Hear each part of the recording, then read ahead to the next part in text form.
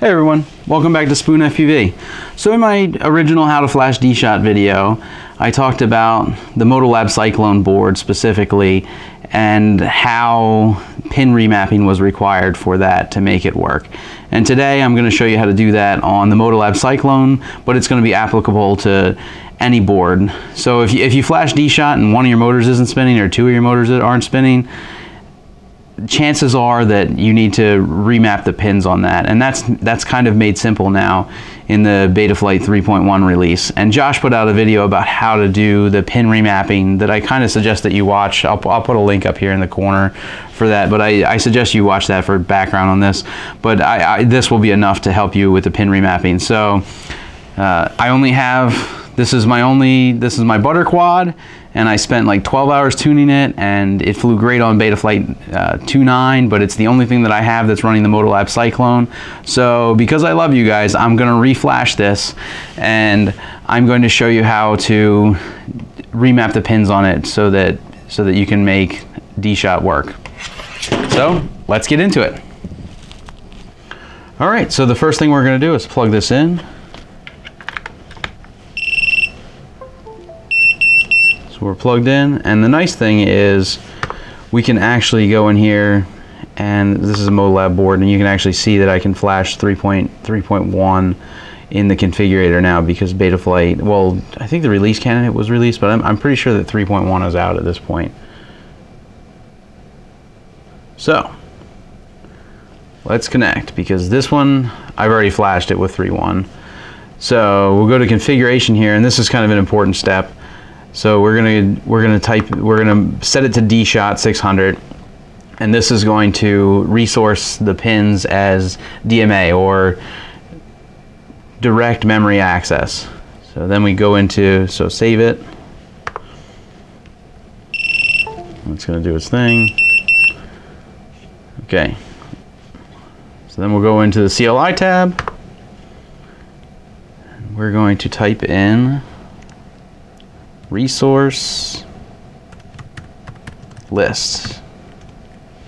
So on the resource list, we can see that there's motor number two, motor number three, and motor number four are listed as DMA. Motor number one's missing. That's the one that's not going to spin when you when you run D-Shot. And the reason for that is because the the pin that's on the board, in this case A4, the board manufacturer selected A4 before D-Shot was a thing, and for motor number one, and DMA is not supported on that pin by the STFM F3 chip or whatever the full terminology for the chip is. That's the same on all F3 boards.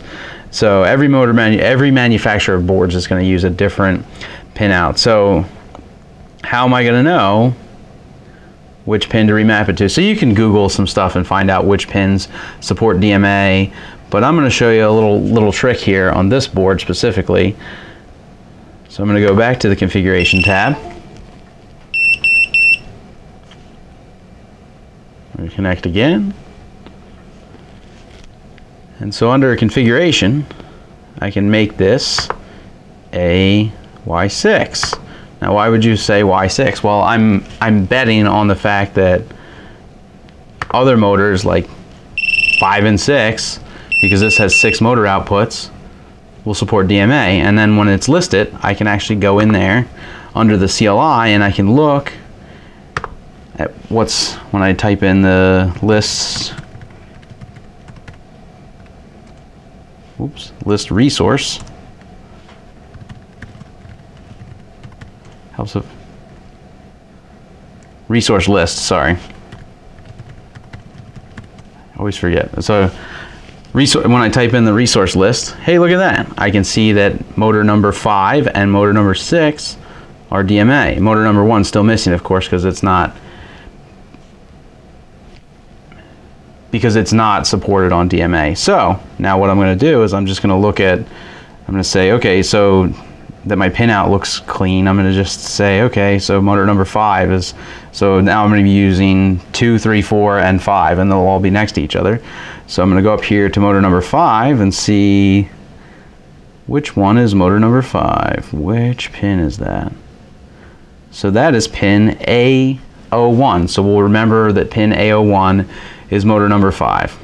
Okay, so I'm going to go in here and I'm going to switch motor number 1 and motor number 5 because motor 5 has the DMA that we want and motor number 1 does not. So we said that motor 5 is A01 and motor number 1 is A04. So I'm going to type in resource motor 1 equals none.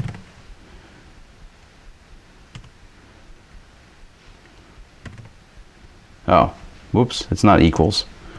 Resource motor 1 just none. Okay, and then resource five, none. Okay, then I'm free to switch motor number five, and I'm just I'm just gonna go back here and look at what motor number one was. So motor one was A04, so I'll type in A04. So motor 5 is now going to be motor 1 and then I'm going to set motor number 1 to A01 which is motor number 5 so Okay, and you have to clear them out before that you can reassign them. And, and Josh goes over all that in his video. So then I'm going to type save. And now when we go back into the, the, the resource list, under CLI, I can say resource list, look at that.